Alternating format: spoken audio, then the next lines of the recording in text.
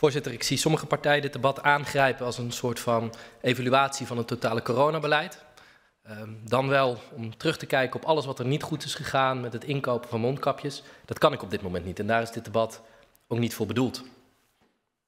Dit debat gaat over iets anders, misschien nog wel iets groters.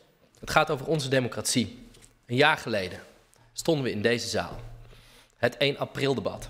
Helaas geen grap. En we hadden hier een debat over dat we het allemaal anders zouden doen. Er stond hier een premier te vechten voor zijn politieke leven. En we zouden het allemaal beter doen. We gaan informatie nu geven aan journalisten als ze erom vragen en aan de Tweede Kamer. En waar staan we nu? Artikel 68 van de Grondwet zegt dat informatie ten alle tijde aan de Kamer verschaft moet worden. Tenzij dit in het belang van de staat niet kan. Vorige week vroegen we om informatie. En tot twee keer toe is deze informatie door minister Helder geweigerd. Ik dank het kabinet dat deze informatie hier gisteren wel is gekomen. Maar dat laat wel een vraag open. Waarom kon vorige week deze informatie niet geleverd worden en deze week wel? Waarom was er, kon er vorige week blijkbaar wel een beroep gedaan worden op het belang van de staat en waarom niet? En uit de brief die minister Helder heeft gestuurd, wordt de brief van minister De Jonge meegestuurd met het verzoek om deze informatie door te sturen. Wie heeft eigenlijk bepaald dat deze informatie nu wel naar de Tweede Kamer kan? Voorzitter, we moeten afrekenen, en niet alleen de oppositie hier, en ik kijk indringend naar de coalitiepartijen, als parlement.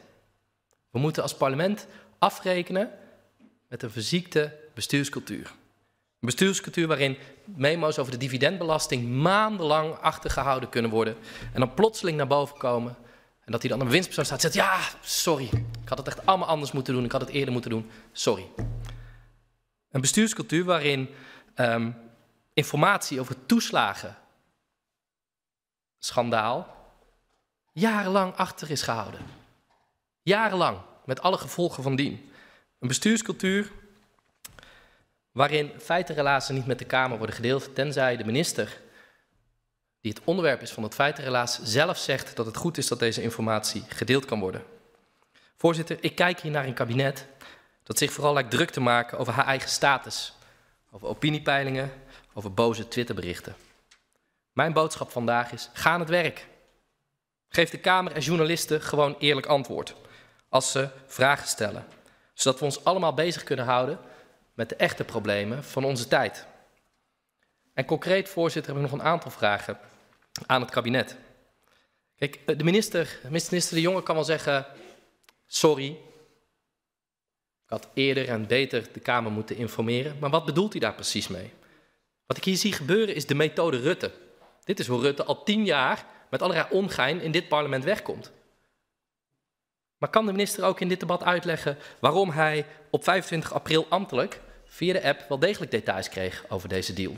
En hoe het dan kan dat hij op 17 mei van hetzelfde jaar, 2021, bij het uitlopen van de ministerraad zegt dat hij op geen enkele wijze betrokken is. Houdt hij dat nog steeds staande, dat hij niet betrokken was bij deze deals, terwijl uit de berichten die we hebben gezien, dat wel degelijk het geval was?